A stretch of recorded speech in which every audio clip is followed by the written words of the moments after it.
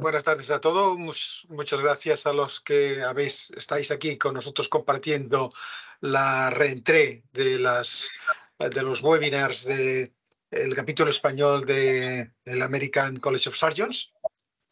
Espero que todos vosotros hayáis tenido un buen verano. Y esta reentré, como veis así, es una reentré un poco particular. O sea, hemos abandonado la estructura que teníamos eh, de mesas redondas, hemos abandonado un tema pura y exclusivamente quirúrgico para hacerlo de esta vez en formato de conferencia o de charla más o menos informal, eh, porque nuestro invitado de hoy es eh, Ignacio Hernández Medrano. Ignacio es un, es un neurólogo, o sea, bastante lejos de la cirugía. Es un neurólogo del Hospital Ramón y Cajal, eh, donde coordinó también la estrategia de investigación. Es eh, licenciado por la Singularity University en Silicon Valley y ha sido repetidamente considerado por la prensa sanitaria como una de las personas más influyentes en la salud digital en España.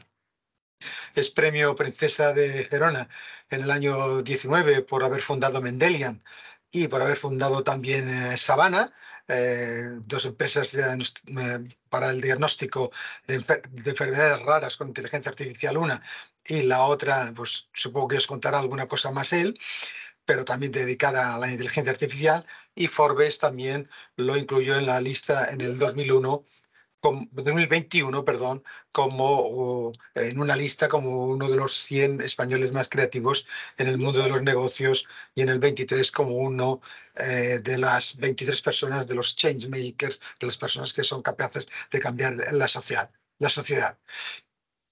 Además, la Comisión Europea, a través de la Real Academia Británica de la Ciencia, eh, eh, lo designó como uno de los ponentes con recorrido internacional. O sea que tenemos una persona excepcional, o sea, a la que le hemos de agradecer que eh, haya compartido, que vaya a compartir con nosotros pues una, una charla sobre inteligencia artificial en medicina, cosa que en este momento ya lleva un largo devenir, pero en este momento estamos en una revolución total y absoluta y que él ha puesto un subtítulo que es el de Separando Hechos de Ficción. O sea que Ignacio, muchas gracias por estar con nosotros esta tarde eh, y agradecerte eh, eh, tu disponibilidad y es tu tiempo.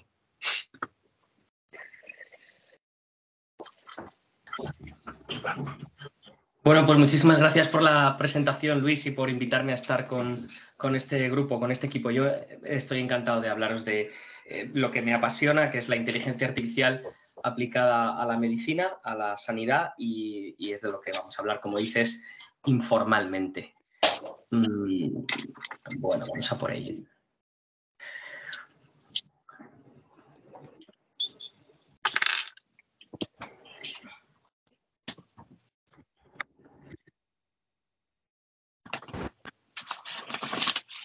Todavía no estáis viendo la pantalla y ahora supongo que ya sí. Ahora sí, ¿verdad? Ahora sí, perfecto. Vale, fenomenal.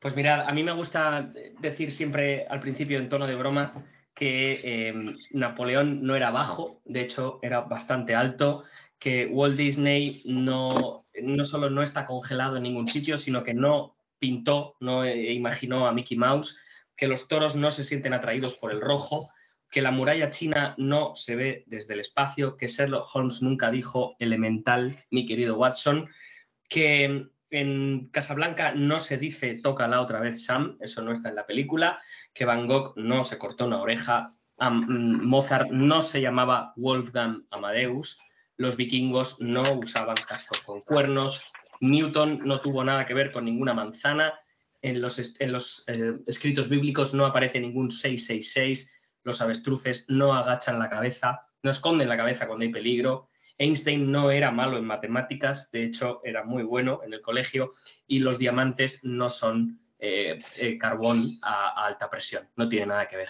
Así que probablemente em, esto es lo que ocurre con la inteligencia artificial, que no es lo que nos ha llegado, lo que pensamos. De hecho, lo que, lo que es la inteligencia artificial o lo que queremos decir con ella cambia a lo largo del tiempo. Eh, si nos fuéramos a la antigua Roma y le preguntáramos a alguien, oye, una máquina que puede multiplicar dos números cualesquiera es eh, inteligencia artificial, seguramente nos diría que sí. Sin embargo, si lo preguntáramos ahora, dirían, no, eso es una calculadora, ¿no? Y si nos fuéramos a 1850 y le preguntáramos a alguien si una máquina que puede resolver ecuaciones complejas es inteligencia artificial, pues nos diría que sí. Sin embargo, eh, para nosotros, si nos preguntan a nosotros, diríamos, pues eso es simplemente un ordenador. Y si hiciéramos lo mismo en 1950 y preguntáramos, ¿y algo que gana al ajedrez, una máquina que gana? Pues diríamos, sí, es inteligencia artificial. Sin embargo, en el día de hoy diríamos, pues nada, un ordenador un poco mejor.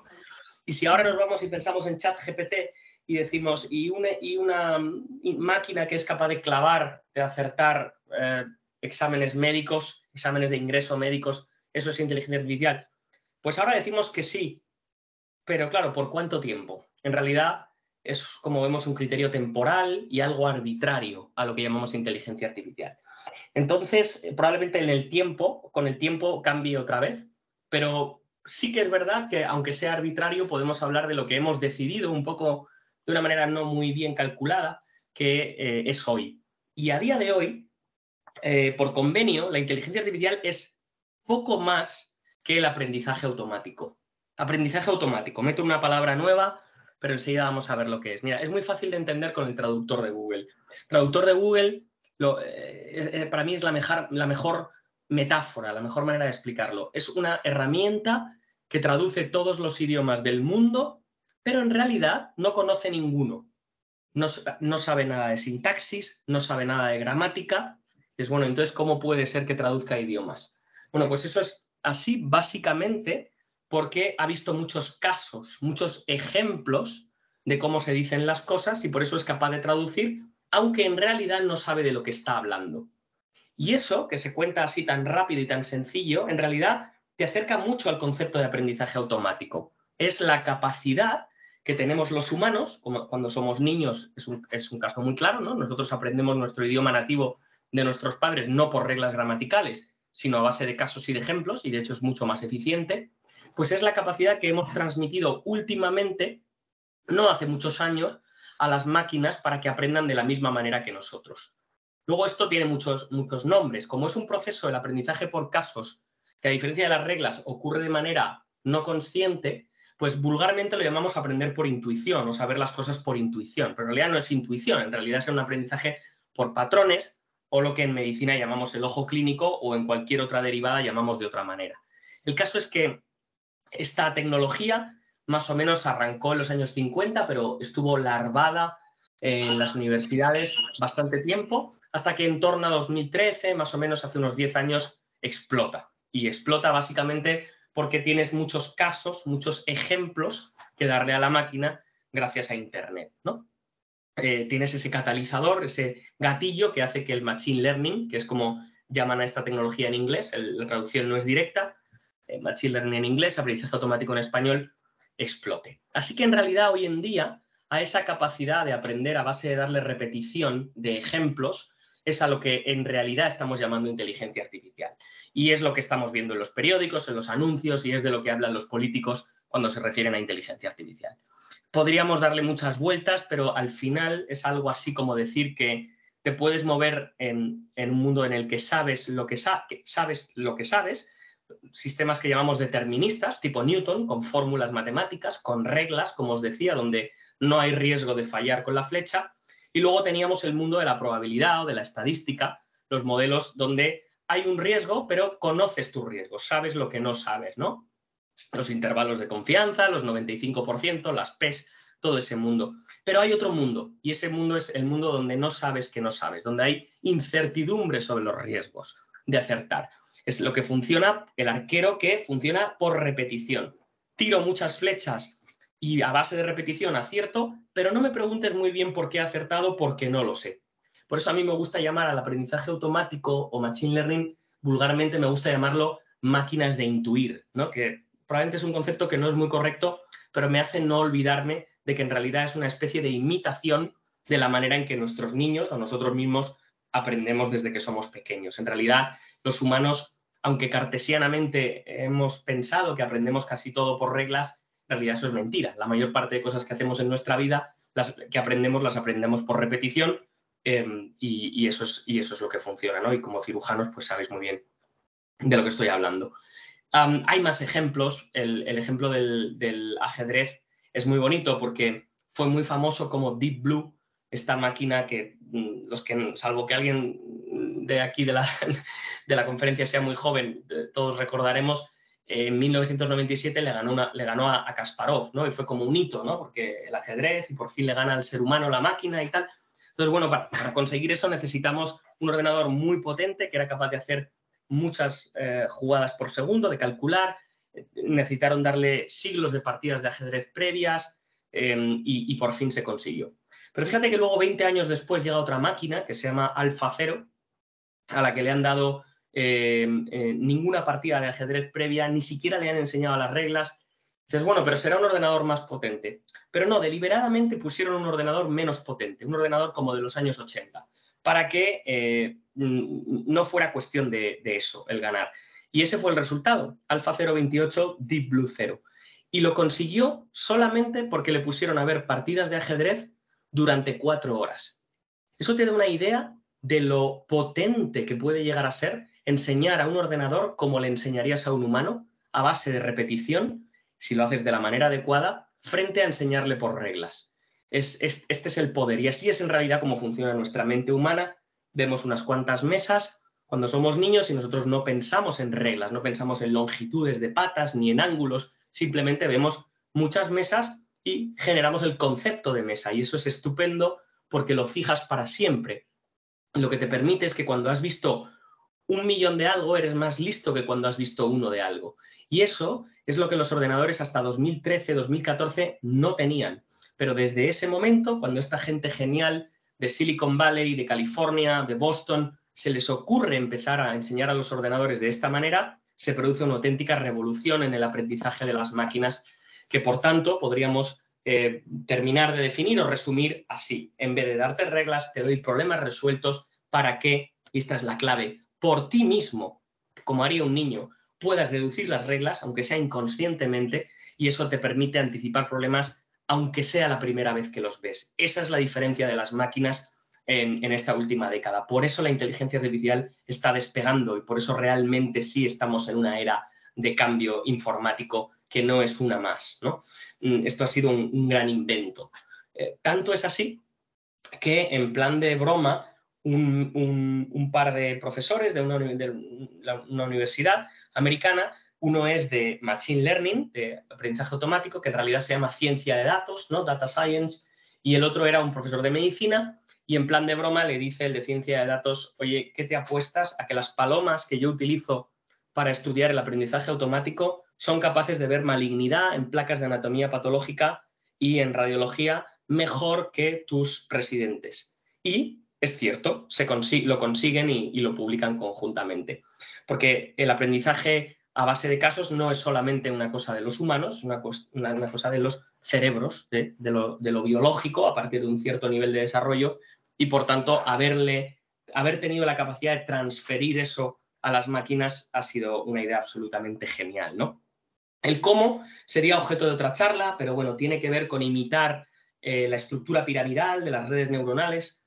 Por eso a esto se le llama redes neuronales artificiales, pero eso ya nos empieza a dar un poco igual, porque lo que necesitamos entender es que las máquinas pueden acertar cosas aunque no las entiendan. Y si entendemos eso, entonces tenemos mucho terreno ganado.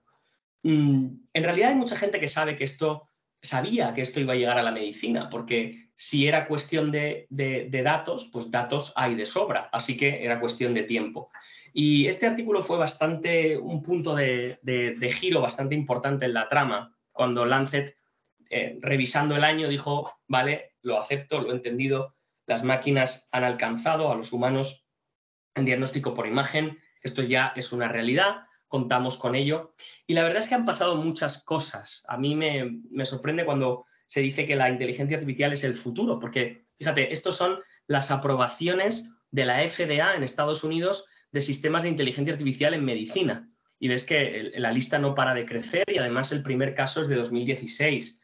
Tanto es así que ya han salido regulaciones para saber qué tiene que, qué para bienes tiene que pasar un, machine learning en medicina para ser aprobado ¿no? por la FDA.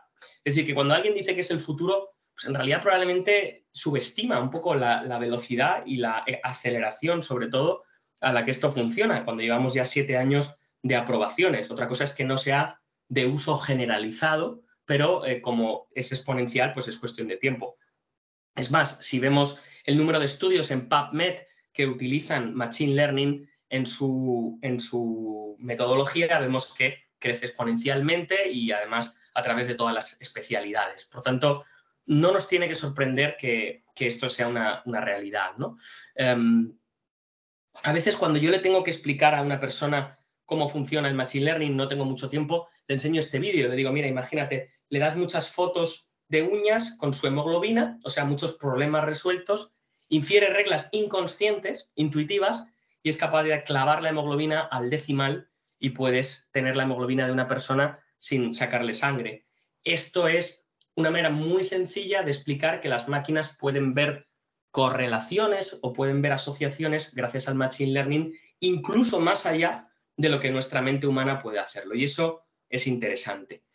Es lo que mm, alguien ha llamado los ojos de la máquina, ¿no? Es como mm, recordar que si bien los humanos podemos ver cosas que las máquinas no pueden ver, y eso es así, también es al contrario. También las máquinas, gracias ahora al Machine Learning, pueden ver cosas que nosotros no veríamos. Por ejemplo, en un electrocardiograma, pues ser capaz de ver el sexo o la anemia o, patología cardíaca o lo que sea, disfunción eh, contráctil, cosas que un cardiólogo jamás podría ver en una información aparentemente tan sencilla, eh, como una máquina es capaz de asociar un número de variables, de vectores, muy superior al que nosotros podemos asociar, pues la gracia del Machine Learning no es que nos iguale, porque si solo fuera para igualarnos, la gracia, lo interesante está en que si le haces la pregunta adecuada y le das el dataset adecuado, es capaz de superar nuestra capacidad de asociar variables. Y eso empieza a ponerte en la pista de hacia dónde vamos, porque claro, si tú tienes ahora una tecnología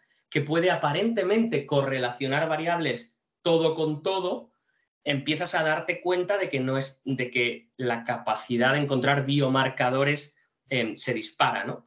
Y, en ese sentido, a mí me gusta hacer una distinción, y es que tenemos máquinas eh, que pueden hacer esto, pero digamos que hay como dos grandes tipos de tareas. Tareas que yo llamaría clasificatorias, por ejemplo, el reconocimiento facial, ¿no? El machine learning es capaz de ver caras, como lo que llevamos en nuestros teléfonos móviles, mejor que nuestro córtex visual, lógicamente, pero a la derecha de la pantalla tenemos lo que sería la predicción, es decir, metemos algo interesante que es la línea temporal.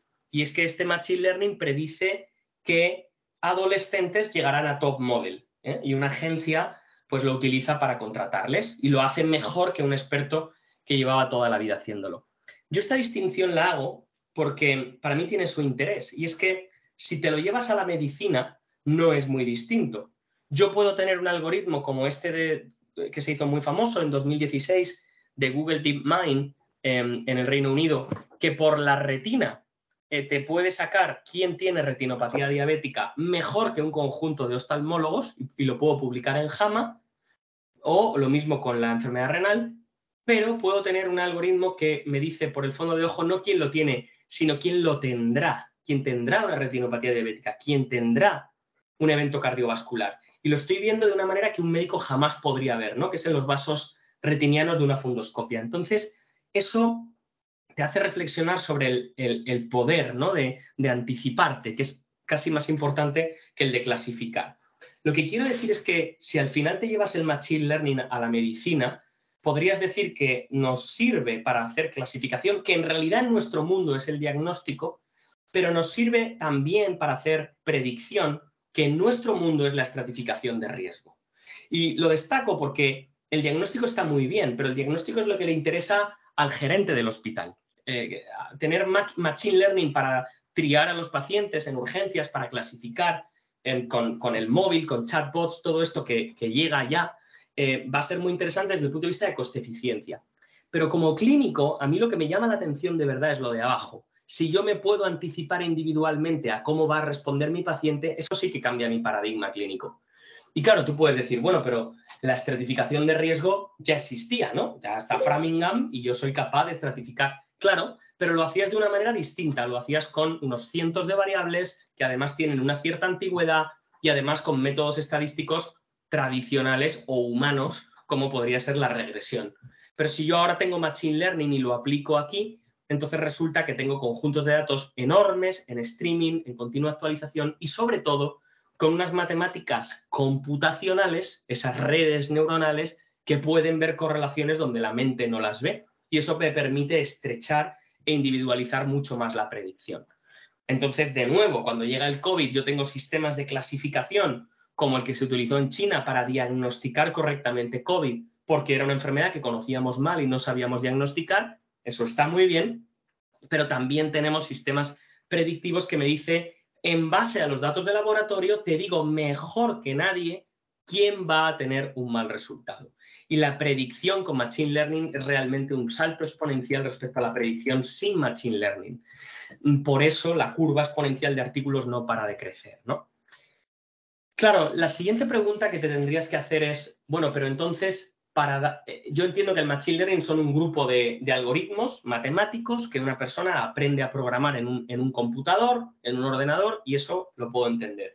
Pero tengo que darle datos, ¿no? Aparte de una pregunta. ¿Qué datos le doy? Bueno, en medicina o en el mundo de la biología o biomedicina tienes muchas capas de datos que darle, ¿no? Tienes todas, es la biología de sistemas o las ómicas te permiten ir alimentando los sistemas. Entonces, realmente, nosotros ahora podríamos, em, en esta charla, empezar a poner ejemplos de relación entre avances en genómica o en transcriptómica o en metabolómica gracias al Machine Learning. Y no acabaríamos nunca, porque crece exponencialmente. Pero eso podemos suponer que es así, podéis creer que es así o no creerlo y buscarlo en, la literatura científica, no os costará encontrarlo, pero hay, eh, hay, un ejercicio más interesante, en mi opinión, de, de llegar a la raíz de las cosas, de concluir, y es, claro, de manera intuitiva, si tú les, le vas dando más capas de datos, diferentes, tu poder predictivo va subiendo, no te tienes por qué quedar solo en una. Entonces, eso que más o menos todo el mundo tenía en la cabeza es lo que ha empezado a ocurrir en los últimos años. De tal manera que yo ya me encuentro artículos donde mezclan el fondo de ojo, pero también la secuenciación genómica y predigo degeneración macular a siete años. O mezclo imagen de TAC y datos de historia clínica y predigo embolia de pulmón. O mezclo, como este Nature, bastante reciente, em, gente con cáncer de pulmón no microcítico, mezclo radiología, anatomía patológica y genómica y predigo quién va a responder a PDL1. Que de nuevo, te digo que eso es lo que a mí me, me maravilla, me fascina como clínico. A mí que tenga un sistema con el móvil que me clasifique al paciente, me parece bien, no me parecen malas aplicaciones, pero si yo soy un oncólogo y yo tengo la posibilidad de saber qué fármaco va a acertar porque una inteligencia artificial está juntando datos y me lo está dando, pues se parece bastante a lo que yo soñaba eh, que podía ser la medicina del futuro cuando era un niño, ¿no? Y veía las películas de, ciencia ficción y me doy cuenta de que estamos sorprendentemente cerca de este momento, ¿no? Em, bueno, mirad, las capas de datos son múltiples que darle a la máquina y esta aproximación de varias capas de datos, que hay quien ha llamado aproximación multimodal, bueno, el nombre da igual, em, es importante pero mira, os quiero contar algo más y es eh, a lo que me dedico yo en particular. El, hace 10 años eh, yo estaba en, mi hospital y mm, empecé a pensar en, esta, en esto. Es decir, la idea de que el Machine Learning iba a llegar, eso iba a ser cuestión de tiempo, que íbamos a tener datos y íbamos a poder hacer estas predicciones. Pero pensé también que tuvieras la capa de datos que tuvieras, genómica, microbiómica, hay una capa de datos que siempre necesitas y es la donde están las variables clínicas, donde está la, historia clínica, ¿no? El historial, el expediente que todos haces, hacemos cuando vemos a los pacientes, porque ahí está ya no solo un síntoma, ya no solo un diagnóstico, sino, eh, o la epidemiología, sino también eh, los, los, outcomes, los resultados. Algo ha funcionado o no ha funcionado, ha vuelto o no ha vuelto, se ha muerto o no ha muerto. Tienes mucha información que en una historia clínica agrega poco valor porque es una, pero si piensas no como una persona, sino como un ordenador y piensas en millones de personas, entonces te das cuenta del enorme valor para el Machine Learning de darle eso. Y eso es lo que empezamos a trabajar. Lo que ocurría era, bueno, primero que estaba en papel, la historia clínica, luego ya dejó de estar en papel, en muchos sitios se digitalizó. Eso nos permitió trabajar, pero todavía teníamos otro problema y es que casi todo lo que los médicos escriben o escribimos, lo escribimos de manera eh, desestructurada, de manera narrativa, narrativamente compleja. ¿no? escribimos con unos y ceros, escribimos como una historia, ¿no? una historia que nos contamos a nosotros mismos o a, un compañero, y eso está, no está bien ni mal, es decir, es, el lenguaje humano y así piensa la mente de un médico y así funcionamos. Pero hay una tecnología que es un subconjunto dentro del Machine Learning, que es el Machine Learning con el lenguaje humano, que se llama el procesamiento del lenguaje natural. Es decir, la capacidad de transformar el texto humano en variables. Esto es muy parecido a lo que hace ChatGPT y muy parecido a lo que hace Google. No hace falta ir a ChatGPT, llevamos años usándolo. Entonces se nos ocurrió, a mi equipo y a mí, empezar a transformar en números, en unos y ceros, las palabras de las historias clínicas, para poder entonces alimentar esos modelos de Machine Learning.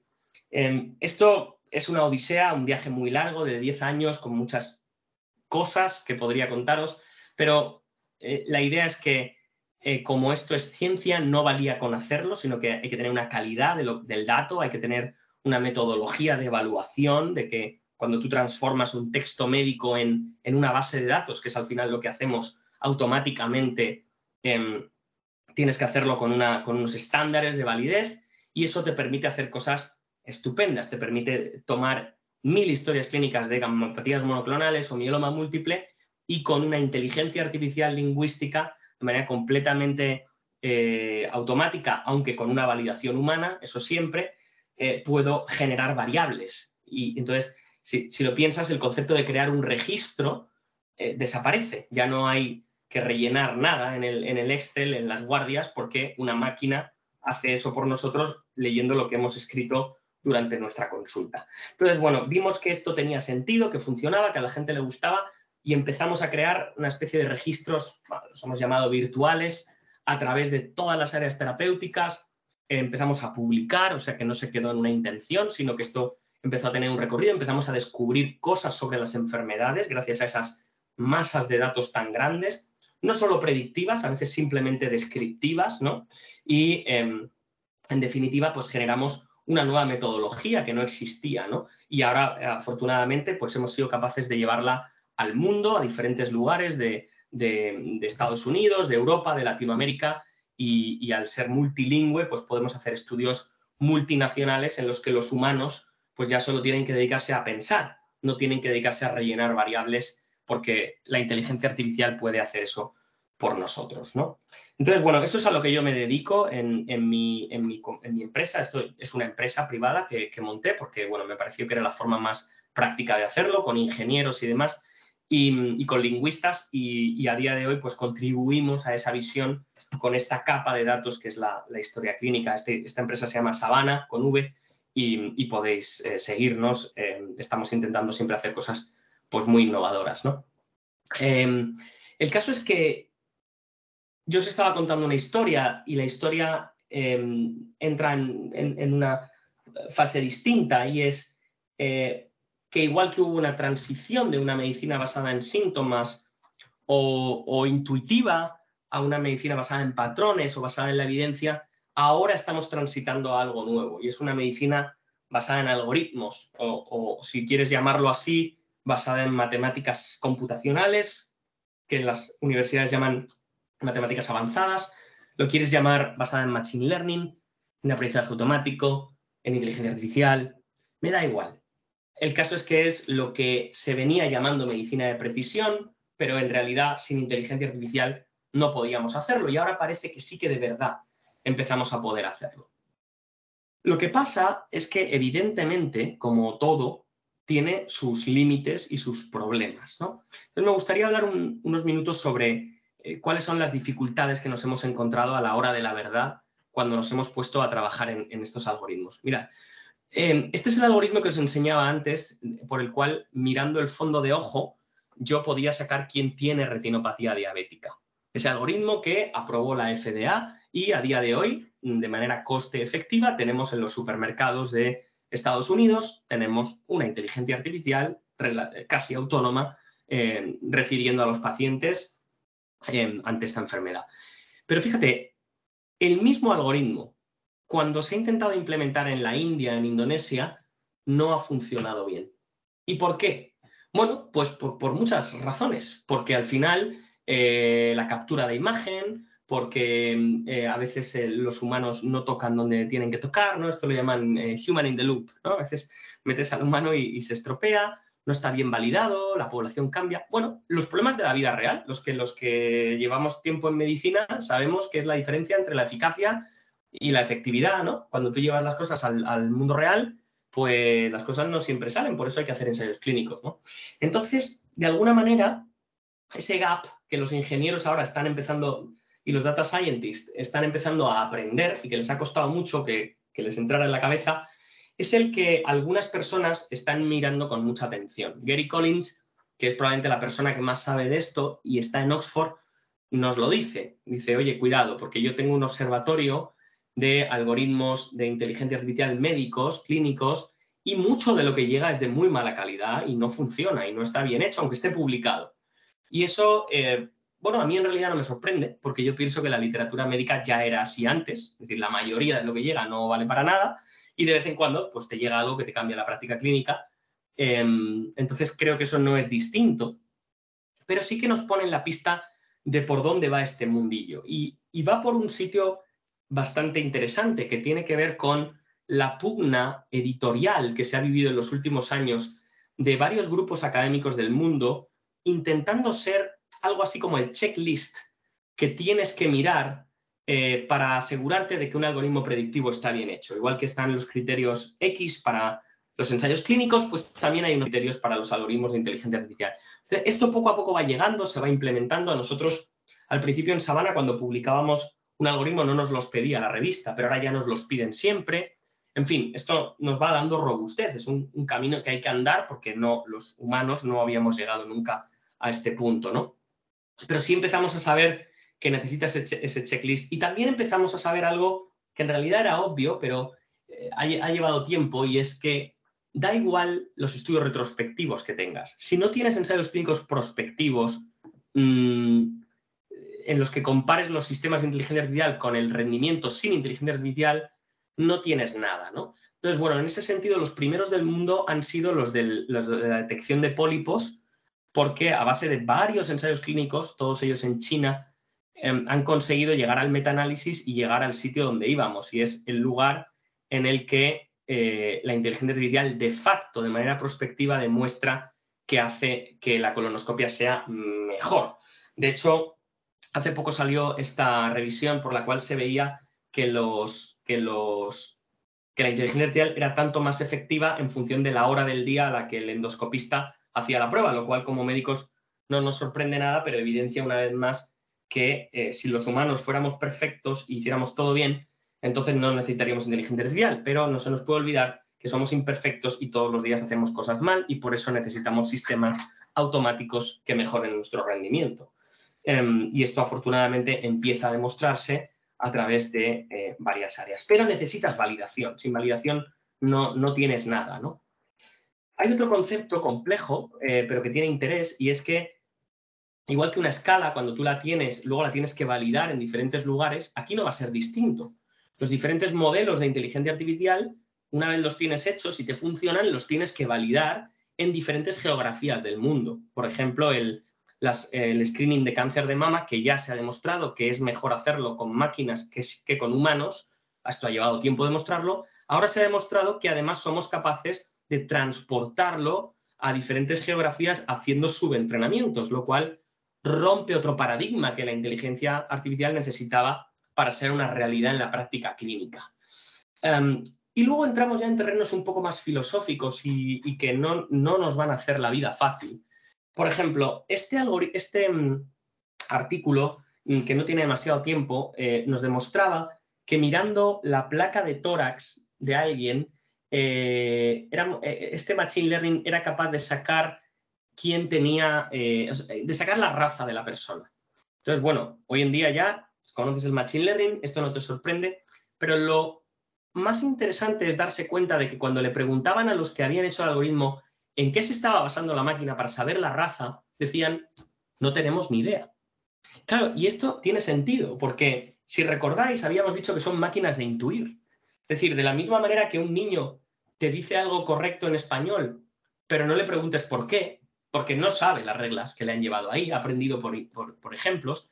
Aprender por ejemplos viene con una condena, viene con un precio, y es que no es siempre explicable. Entonces, esto es muy interesante porque en las revistas científicas hemos visto mucho gente que venía más del mundo más purista médico diciendo, no, no, es que si no es explicable, no lo vamos a aceptar y tal. Pero al final, poco a poco vamos viendo que salen voces diciendo, mira, no es posible que sea del todo explicable porque por definición tiene que tener un componente de caja negra porque no es estadística humana. Es una red neuronal artificial que funciona de manera intuitiva, aunque sea una máquina. Entonces, esto cuesta bastante, pero nos pone en un paradigma complicado, ya que te puede llegar un paciente y decirle usted no es candidato a este tratamiento porque no lo sé, porque lo ha dicho un machine learning. Pero no es solo que lo ha dicho, es que además no sería ético que yo no le preguntara al machine learning porque ha demostrado y está publicado, ahora abajo la curva, que el machine learning predice mejor que yo si usted necesita ese tratamiento o no. Por tanto, la explicabilidad nos pone en una situación difícil, pero es una, realidad. Y luego hay algunas cosas más, ¿no? A veces eh, los humanos, claro, lo que no entendemos tendemos a no usarlo y eso es normal. A estos médicos de una universidad americana tenían un problema y era que no sabían qué pacientes eh, necesitaban electroencefalografía continua en la UBI por posibilidad de crisis y pidieron a los del Machine Learning que les que encontrara en los datos un score y lo encontró. Pero el problema es que el score no era un score, eran medidas muy raras matemáticas que se llaman cosas como entropías y cosas así. Entonces los médicos no lo usaban. Esto nos ha pasado a nosotros también en Sabana. Em, de tal manera que se les ocurrió algo muy interesante y es transformarlo en un score de riesgo, en unos y ceros, en algo que el médico sí que entendiera. Es decir, lo hacían parecer una regresión sin ser una regresión. Y eso es bastante astuto y les funcionó muy bien. Los médicos empezaron a usarlo y redujeron las crisis un 66%. Eso es lo que yo llamaría interpretabilidad. Es decir, una cosa es que no podamos pedirle a los del data science que nos den la explicabilidad, es decir, por qué la máquina ha llegado a unas determinadas variables y no a otras. Pero una cosa distinta es que no podamos exigir que me digas qué variables son las que estás mirando. Porque no puede ser darle un botón y no pensar. Tiene que haber una cierta interacción del clínico con las variables, si no, no es medicina. ¿no? Entonces, em, la eh, interpretabilidad es importante para dar contexto humano y poder saber, por ejemplo, cuando la máquina se equivoca. Porque, fíjate, os he hablado de clasificación y predicción, pero habría una siguiente derivada, y es que cuando tú quieres tomar decisiones clínicas, no te vale solo con predecir, esto es un poquito más complicado, pero es muy interesante. Necesitas hacer predicciones contrafactuales. Es decir, ¿qué tendría que hacer para que no ocurriera lo que va a ocurrir? Por ejemplo, morirse el paciente. Pero fíjate, si tú a una inteligencia artificial tipo ChatGPT le dices que como la hospitalización previa predice muerte, ¿qué harías para que no se te mueran? Te va a contestar, no hospitalizarlo. Ah, pero claro, el problema es que la máquina no es capaz de pensar de manera contrafactual. Y esto, por increíble que nos parezca, es el punto donde estamos con el Machine Learning. Porque para pensar de manera contrafactual necesitas experiencia de dominio, o sea, contacto con la realidad humana, lo que se llama inferencia causal. Y eso es eh, lo que limita de alguna manera el que el Machine Learning nos vaya a resolver todos nuestros problemas. Aún así, hay gente que cree que podemos llegar a hacer que las máquinas aprendan a imitar que entienden la inferencia causal aunque no la entiendan. Bueno, digamos que ahí hay una pugna entre dos grandes grupos académicos eh, que piensan que hay un límite, un techo, y quien piensa que es solo cuestión de datos y de tiempo. Em, la discusión es muy profunda, yo ya hay veces que me pierdo en el debate, pero, pero bueno, he tenido la oportunidad de trabajar con la persona del mundo que más defiende la escuela de, la limitación, de la predicción contrafactual, que es la de eh, la cátedra de Harvard, que la lleva de epidemiología, que la lleva Miguel Hernán, el, epidemiólogo de, España, de Madrid. Y, bueno, pues es, muy interesante ver cómo estamos en un momento en el que no estamos realmente seguros de si vamos a ser capaces de, conseguir que una máquina nos diga cuál es la opción clínica que hay que tomar en un momento preciso ante un paciente. Em, con todo, la máquina nos sirve para predecir y eso ya per se tiene un valor clínico.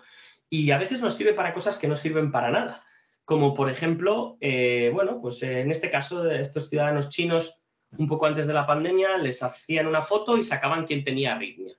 Y no es que no sirva para nada, pero a mí me gustó mucho la reflexión del editor de Hama, ¿no? Porque decía, mira, Mm, está muy bien todo esto del Machine Learning, pero eh, tenemos que tener cautela, porque hoy es una foto y arritmia, pero mañana va a ser foto y psicosis, foto y, no sé, orientación sexual. Eh, es peligroso. Entonces, eh, probablemente hay que hacer las preguntas correctas ¿no?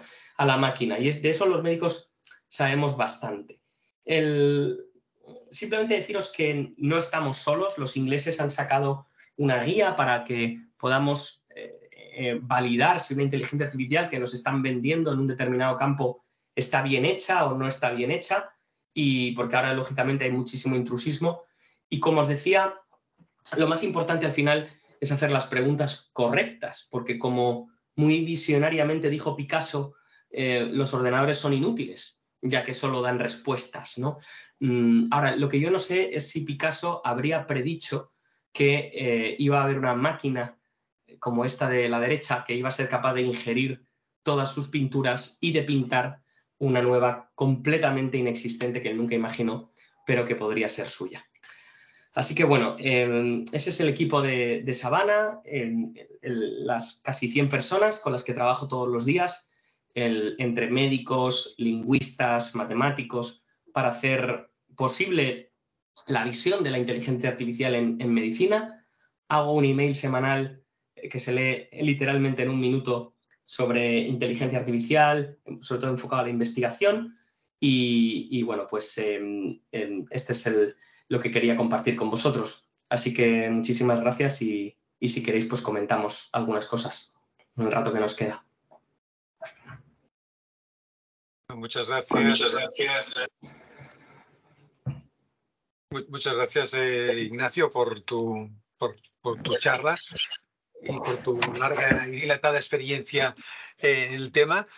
Estoy seguro que habrá algunas preguntas, las podéis hacer si queréis, dado que hoy somos poquitos, las podéis hacer de forma uh, uh, uh, vocal por la pantalla o si lo preferís hacerlo por, por el chat y intentaré trasladárselas a, a Ignacio. Eh, eh, bueno, Ignacio ha, ha, expuesto, como no podía ser, como gran experto que es, pues las, las, las los puntos fuertes y los puntos débiles o, débiles en este momento de la, de la, de la inteligencia artificial. Eh, me hubiese gustado que hubiésemos puesto algún, algún ejemplo un, un poco más quirúrgico, pero, pero ya, ya sé que los, los cirujanos estamos fundamentalmente, le hemos utilizado la inteligencia artificial, pero fundamentalmente en el, en el campo de la predicción de riesgo de mortalidad y de, y de complicaciones, pero no que yo sepa hasta ahora prácticamente nunca en el, en el ámbito del, del, diagnóstico. Eh, un par de, de, de, observaciones y, para iniciar la discusión es, tú lo has expuesto muy bien en, la última, en, las dos últimas diapositivas, que son las preguntas correctas, ¿no? Porque el problema es que en inteligencia artificial en este momento, como se puede meter todo en, un, en, en una coctelera y al final sacar un cóctel, pues vete tú a saber si ese cóctel es bueno o es bueno o es malo, ¿no? Y, y, entre otras cosas, porque muchas veces eh, el que ha metido las cosas dentro del cóctel es que no, no, no, ha preguntado qué quiere saber, ¿no? ¿Qué quiere saber? Eso, eso, y eso me recuerda muchas veces a lo, a lo tan criticado de las phishing expeditions cuando hacíamos la estadística clásica, ¿no? Eh, eh, entonces, pese a, a, la, a, la, propuesta que ha habido, ¿no? y fundamentalmente la última, que es el Propose ¿no? para, para validar los estudios de, de, de, inteligencia artificial o de machine learning, pues eh, la verdad es que no siempre tenemos las, las, la respuesta que uno le gustaría tener o la contundencia a la que gustaría tener, probablemente porque la, pregunta no se hizo bien o la respuesta y la respuesta, por lo tanto, es prácticamente inválida o poco aplicable al mundo clínico. El otro, el otro punto es, como siempre, así surge con eh, facilidad, ¿no? Son los aspectos legales, ¿no? Los aspectos legales de las de, dónde salen los datos, cómo se obtienen, cómo se anonimizan, eh, eh, qué utilidad pueden tener, qué utilidad pueden tener por determinadas mm, grupos empresariales para clasificar y penalizar, entre comillas, a los pacientes, ¿no? Que este es otro, otro aspecto que tampoco queda muy, todavía lo tenemos un poco, un poco en mantillas, ¿no? Lo que es absolutamente fascinante desde mi punto es vuestro trabajo en Sabana, porque todos sabemos que extraer datos de una historia clínica es harto complicado, es harto complicado y, y, la verdad es que eh, poder disponer de una herramienta eh, multilingüe capaz de extraer datos de una, de una historia clínica es una herramienta que es absolutamente necesaria, como porque como muy bien, muy bien has dicho, la mayoría de esos datos que podemos meter en la coctelera, pues se necesita validarlos de alguna forma desde el punto de vista clínico. Y eso no hay más remedio que pues, tener una asistencia clínica muy importante y eh, poder extraer datos de las propias historias clínicas, eh, algo que quizás en algún momento los médicos debamos plantearnos de, cómo escribir en una historia clínica para que incluso pueda ser la, exportación de datos más con más fiabilidad realmente de la que es todavía en este momento. Si quieres comentar alguna, alguno de estos aspectos.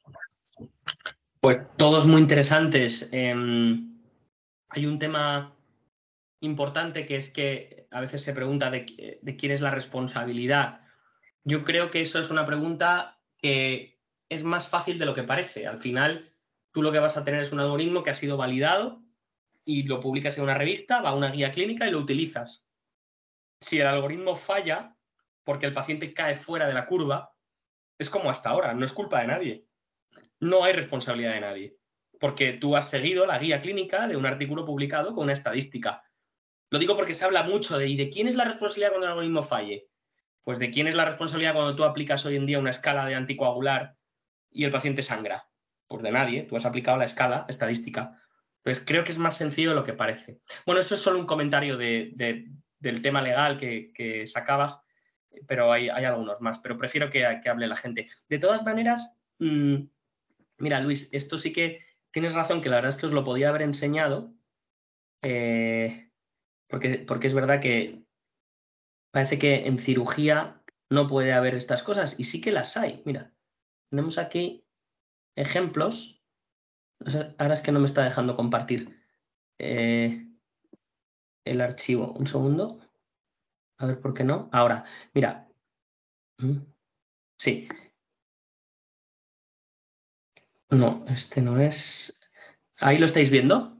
Sí, estamos viendo, estamos viendo. Vale, estos son solo unos cuantos recortes así que hay muchos más, pero para que veáis que hay un montón de, literatura ya de alto impacto, estos son artículos buenos, eh, donde se ha utilizado la inteligencia artificial para la toma de decisiones quirúrgica, eh, desde el punto desde si dar de alta o no, qué técnicas abordar, eh, no sé, sabéis más que yo de esto, pero, pero quiero decir que el campo da para muchísimo también. Simplemente ese comentario. Muy bien. ¿Queréis hacer alguna pregunta los participantes?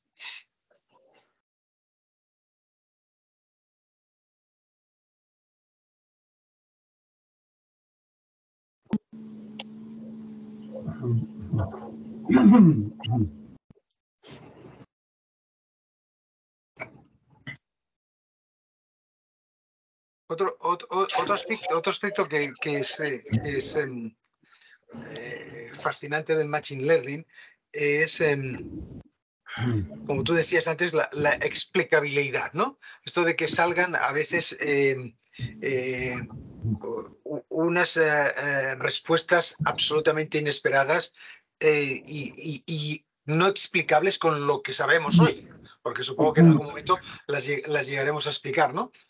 Y, y esa, ah, esa necesidad o no de preguntarle a, la, inteligencia artificial, como que de hecho es prácticamente lo que hacemos ahora con algunos eh, algoritmos, eh, y la, eh, el recorrer, el hacer recorrer al paciente unas determinadas, determinados caminos que no somos capaces de explicar, o, al menos no somos capaces de explicar al 100%. Al 100%. ¿Hasta qué punto o sea, ¿qué deberían saber los pacientes? ¿O qué deberíamos explicarle a los pacientes para, ah, para que crean en ella o no crean en ella? Claro, yo creo que la pregunta es muy buena porque yo creo que eso nadie lo ha desarrollado. O sea, todavía no está claro, todavía no, nadie ha dicho, oye, cuando entra un paciente en la consulta, ¿cuánto le tengo que decir que mi juicio clínico está influido por la inteligencia artificial. Eso nadie, nadie ha hablado de eso todavía. Y probablemente tiene su importancia, porque sí que, por ejemplo, en Francia se trabajó en el Parlamento una ley por la cual el médico, el paciente, sí que tenía que ser informado en general de inteligencia artificial y podía rechazarla, no, no rechazarla, pedir una segunda opinión sin inteligencia artificial. Y esto eh, es como el derecho a lo humano, ¿no? De alguna manera. Y es interesante porque, porque el, el humano podría estar pidiendo algo que no es lo mejor, porque está demostrado que no es lo mejor, pero como humano tiene su derecho a pedirlo, pues probablemente sí, al menos en el ámbito europeo.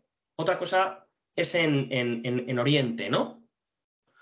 Bueno, yo creo que es un debate interesante el que se abre con la necesidad o no de informar a los pacientes sobre el uso de la inteligencia artificial. Además del hecho de que hagamos lo que hagamos los médicos, los pacientes van a usar inteligencia artificial en salud, porque van a tener aplicaciones. y yo tengo la predicción personal no muy fundamentada, es una, simplemente una, idea, una intuición de que no queda tanto para que Amazon un día nos sorprenda con con un aplicativo en Amazon Prime que, que, vaya enfocado a esto, ¿no? Bueno, de, hecho, esto fue un gran proyecto que de, de, IBM durante mucho tiempo, ¿no? El, proyecto Watson, ¿no? Que, que, era casi casi un, un, cajero automático donde tú llegabas, eh, metías una moneda, o no la metías, pero bueno, eh, podías meter una moneda y te hacía cuatro preguntas y casi casi salías con el diagnóstico hecho, ¿no? Sí, lo que pasa es que los amigos de IBM Watson, yo creo que subestimaron, subestimaron la complejidad de la medicina subestimaron la predicción contrafactual de la que hemos hablado, subestimaron eh, no ya todo el aspecto antropológico, emocional, porque eso depende de a qué generación le preguntes.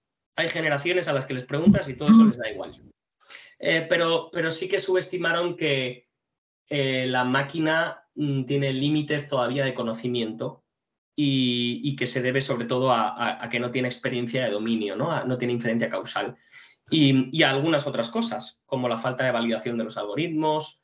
Em, bueno, yo creo que las aproximaciones que llegan ahora son más maduras y más conscientes de que, de que la inteligencia artificial no lo puede todo ni, ni es tampoco su objetivo. Bueno, participantes, amigos, ¿tenéis alguna pregunta que hacerle a Ignacio? Sí, Luis, eh, buenas tardes. Venga. Mm. Hola, Miguel. ¿Qué tal? Mira, bueno, he invitado al doctor Medrano por su conferencia porque me ha parecido excelente y yo creo que nos ha puesto claramente de relieve el interés de la inteligencia artificial en medicina. Claro, para nosotros como cirujanos, mm, toda esta eh, visión general es muy interesante, ¿no?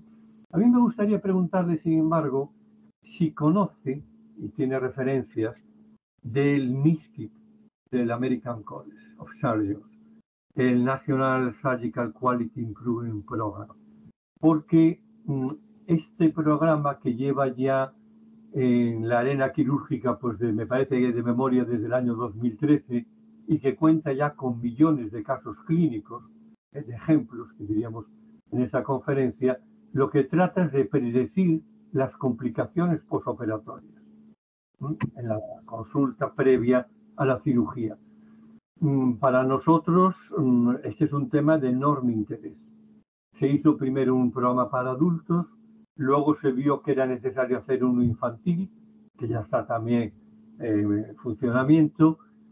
Encontraron problemas eh, con el asunto de urgencias. En la cirugía de urgencias esto ya no era fácil ¿eh? de cuadrar la relación preoperatorio y postoperatorio y tiene por otra parte un problema que se ha dicho desde el principio que está todo en inglés, se ha pedido que se traduciera a otras lenguas y cuando tú hablabas al principio de tu compañía y cómo manejáis en cantidad de lenguas los datos, te quería preguntar, si lo conocías, ¿cuál era tu opinión? Y segundo, ¿cuál sería la complejidad de llevarlo y hacerlo sensible pues al español, al alemán, al chino, al japonés, etcétera, porque esto es una demanda internacional que hay sobre este programa, ¿no? Que se está mm. limitando al inglés. Nada más y muchas gracias. Bueno, nada, te agradezco muchísimo el comentario. No lo conocía, la verdad. Es la primera vez que lo oigo. Me parece muy interesante, de verdad lo digo. Yo también aprendo mucho en las charlas y, y es exactamente de lo que se trata, ¿no?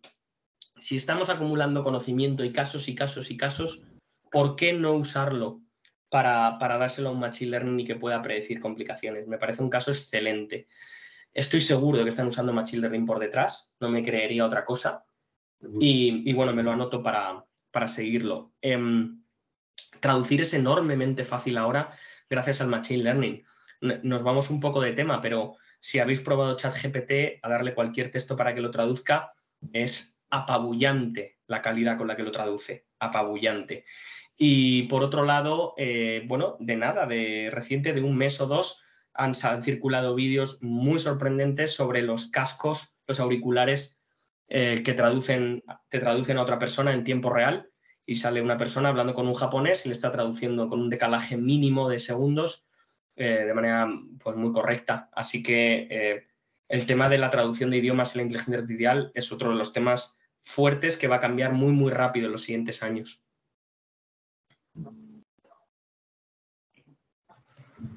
Muy bien, ¿tenéis alguna pregunta más?